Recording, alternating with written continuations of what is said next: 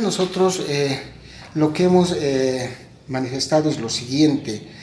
Eh, la ley 348 es emergente, es producto de todo un proceso de luchas, de reivindicaciones de las mujeres ante una sociedad que se ha portado justamente muy patriarcal, muy machista, eh, conquistas desde la década del 50, eh, desde el siglo pasado, eh, que han permitido ir avanzando no solamente en lo político, sino fundamentalmente en el ámbito de prevenir la violencia.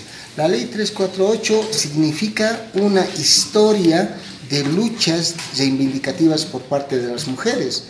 No tiene esta ley un componente que pueda em, eh, calificarse como eh, algo retrógrado, por, por, lo contrario, es una ley que ha sido eh, pues reconocida como de avanzada en América Latina, en toda la región, de tal manera que hay que profundizarlo más bien, hay que de repente mirar algunos temas que puedan profundizarse desde la perspectiva de la prevención de la violencia es decir, hay que darle eh, eh, pues mayor operatividad a esa prevención y por supuesto el Estado debe darle mayor presupuesto para lograr los objetivos inicialmente trazados por la Ley 348.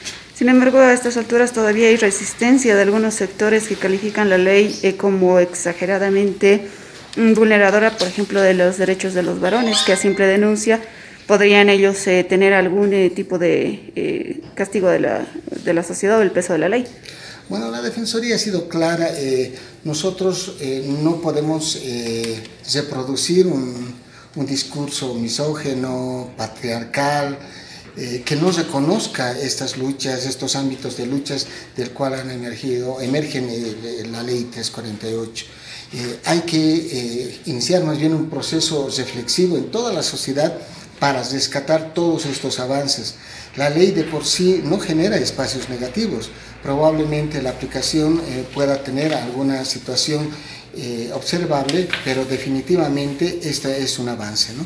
Eh, la ley es un avance. ¿Cuáles son los desafíos? ¿Qué instituciones son las llamadas para incidir más en la prevención que hasta ahora se ha estado fallando por el alto índice de feminicidios? Bueno, el Estado tiene diferentes niveles que van desde eh, la ruta de atención, ¿no es cierto?, hasta eh, momentos anteriores como son los procesos educativos de concienciación que eh, permitan justamente hacer la prevención general en estos temas de violencia que se van reproduciendo permanentemente. El otro mensaje también es la oportunidad en la sanción.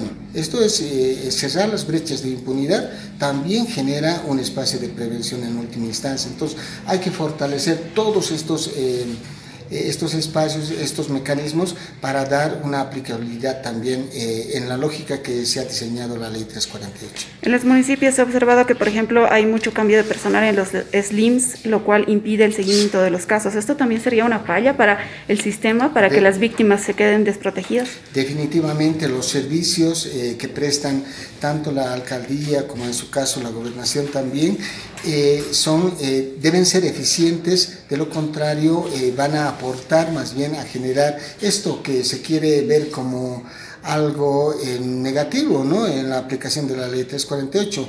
Más bien la idea es optimizar estos servicios que nos permitan hacer una atención, un acompañamiento y una investigación rápida. Finalmente, Muchísimas... sobre el tema de la